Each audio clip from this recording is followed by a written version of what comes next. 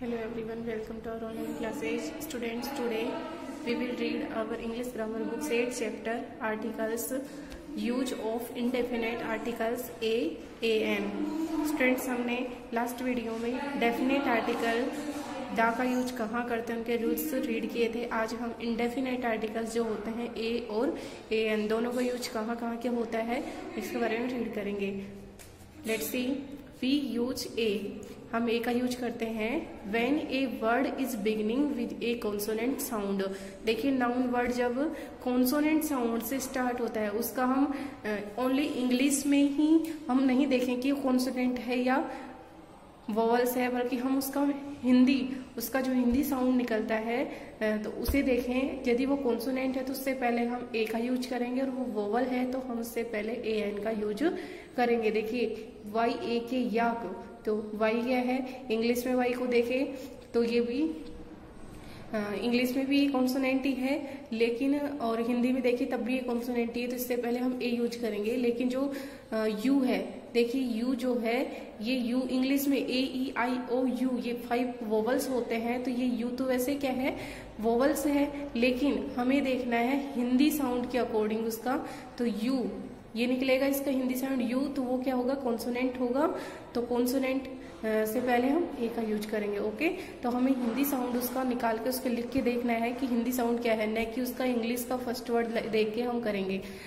We use a an when a जैसे a आग है a horse a university a cat a European a phone a book a teacher second है we use a an when a word is beginning with a vowel sound a an का use करते हैं जब कोई noun होती है, वो vowel sound से स्टार्ट होती है। देखिए O R A N G E orange यहाँ पे ओ क्या है? इंग्लिश वर्ड भी ये वोवल ही है, ले, और हिंदी में देखिए, इसका साउंड भी ओ से ही स्टार्ट होगा तो ये वोवल ही होगा तो ए एन यूज़ कर देंगे। यहाँ अम्ब्रेला ये भी एक वोवल साउंड है तो ए एन यूज़ करेंगे देखिए, यहाँ ऑनेस्ट मैन तो देखिए एच जो है एच वैसे इंग्लिश के अकॉर्डिंग तो एक कॉन्सोनेंट है एच लेकिन इसका जब हिंदी इसकी साउंड निकालेंगे तो ये लिखा लिखते हैं इसको ओनेस्ट ओनेस्ट होनेस्ट नहीं ओनेस्ट तो इसका हिंदी जो हिंदी साउंड निकलेगा इसका, वो निकलेगा इसका वोवल्स का. तो उसके अकॉर्डिंग हम इससे पहले यूज़ कर देंगे a an article okay a an an apple an hour देखिए इसमें भी एच जो है, इसका वोवल साउंड निकल रहा है तो इससे पहले एन यूज़ करेंगे. नेक्स्ट है एन अगली man okay omission of definite article the तो देखिए ओमिशन का मतलब है कि यहाँ पर द आर्टिकल का यूज़ नहीं होगा। कि वैसे हमने रूल्स पहले रीड किए थे कि इनसे पहले द आर्टिकल यूज़ होता है, लेकिन इसमें भी कुछ ऐसे अपवाद से हैं जिनसे पहले द आर्टिकल का यूज़ नहीं होगा। We do not use article the हम, ये जो हम कुछ रूल्स रीड करेंगे तो इन इनके अकॉर्डिंग यहाँ पर द आर्टिकल का यूज़ नहीं होगा। When proper noun as the names of cities countries streets materials person months and week are use देखिए, हमने रीड किया था कल कि कंट्रीज़ के नेम से पहले द का यूज़ करते हैं, लेकिन सिंगल कंट्री किसी पर्सनल कंट्री का नेम आता है तो उसके लिए हम द यूज़ नहीं करेंगे। वो हमने रीड किया था कि किसी प्लूरल नेम्स की कंट्री प्लूरल कंट्री होती है, जैसे यूएसए है यूके जो संघ होता है तो ऐसे देशों से पहले हम क्या करेंगे द आर्टिकल यूज़ करेंगे, लेकिन किसी सिंगल या पर्सनल जो पर्सन जो होती है प्रॉपर जो होती है प्रॉपर नाउन्स जैसे कि कोई भी प्रॉपर सिटी होती है कंट्री होती है स्ट्रीट मटेरियल पर्सन या मंथ इनसे पहले हम द आर्टिकल यूज़ नहीं करेंगे। द दहली, देखिए, दहली जो है, ये ओनली सिंगल एक कंट्री का सिटी का नेम है तो इससे पहले हम द आर्टिकल यूज़ नहीं करेंगे। ये जो कट मार्क लगा हुआ है, इसीलिए हुआ है कि यहाँ पर कोई भी आर्टिकल यूज़ नहीं होगा इनसे पहले। ये मुंबई जो है, देखिए यहाँ, इससे पहले भी कोई आर्टिकल यूज़ नहीं होगा। संडे वीक के नाम के पहले भी हम कोई आर्टिकल यूज़ नहीं करेंगे। और किसी के नाम से पहले भी, जैसे द नेहरू जी, इस तरह किसी के नाम से पहले भी आर्टिकल यूज़ नहीं करेंगे। द जनवरी मंथ्स के नेम से पहले भी आर्टिकल यूज़ नहीं होगा। और गांधी मार्ग ये क्या है स्ट्रीट का नेम है तो इससे पहले भी कोई आर्टिकल यूज़ नहीं होगा ओके सेकंड है बट इन सम सिचुएशंस लेकिन कुछ स्थितियों में we use the before proper nouns कुछ कंडीशंस ऐसी होती है जहाँ पर हम प्रॉपर नाउन से पहले द का यूज़ भी करते हैं. If the if the is use before proper noun यदि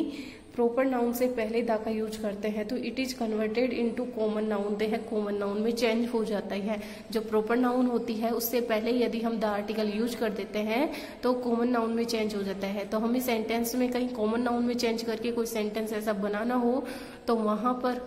हम द आर्टिकल यूज़ कर सकते हैं। जैसे Kalidas is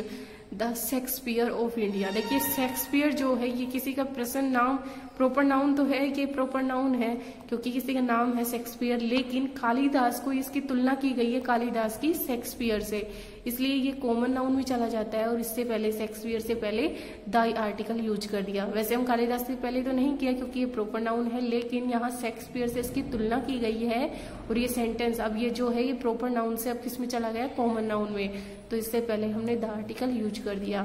Second Kashmir is the Switzerland of India देखिए, कश्मीर की भी स्विट्जरलैंड उपाधि दी गई है कि स्विट्जरलैंड से कंपेयर की गई है। बट वी से लेकिन हम कहते, कहते हैं we praise the honesty of any one painting is a fine art when names of materials are use gold is the most valuable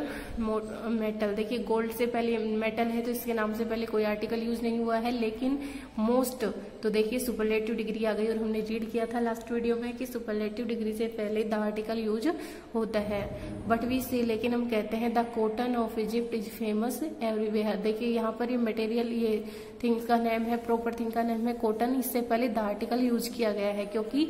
ये किसी एक के क्या क्वालिफाई कर रहा है किसी एक कॉटन को। कॉटन की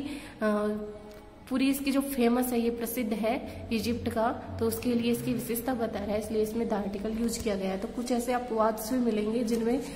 रूल के अकॉर्डिंग उससे भी अलग जा करके उसके यूज़ किया जा रहा है। तो स्टूडेंट्स ये आपका चैप्टर कंप्लीट हो चुका है तो इनके रूल्स जो रीड करें, कोई प्रॉब्लम हो तो कंसल्ट करें, इसके क्वेश्चन आंसर आपको नेक्स्ट वीडियो में सेंड कर दिए जाएँगे ओके थैंक्स